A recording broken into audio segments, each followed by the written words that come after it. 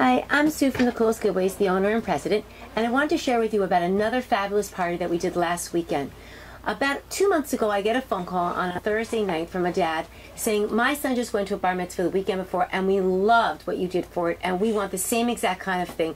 Uh, right now, I'm going to give you my credit card. Let's do it. I said, Listen, why don't we hold on a second? Come in, meet with us, see if you like what we do, and then I'm happy to work with you and take your money. But let's first see if we like everything. Sure enough, they came in on a Saturday. They wanted a really cool sweatshirt for their son, and his their son was really into basketball. And at first, we started with the idea of doing a graffiti basketball theme. But then with the onset of Linsanity, he said, you know what? Why don't we do it? And we had just done an ad a couple weeks ago saying, why don't we do it Sam Sanity? So we revised it. Next thing it came out awesome. They absolutely were so cute, so perfect to work with. And I want to share with you what they said. We cannot tell you how much we loved everything you did for us. From the moment we walked through your door, we were treated as family, not customers. Your design team is second to none, and your devotion from beginning to end is outstanding. Your time and commitment meant the world to us and helped keep our sanity. We're going to be your biggest promoters and will recommend you every chance we get.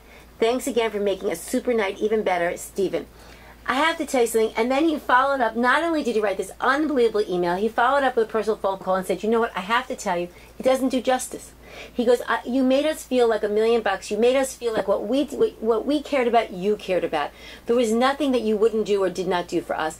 And from the very beginning, my team worked so hard to make sure that they ended up with the best Sam Sanity basketball graffiti sweatshirt and backpack that you could buy.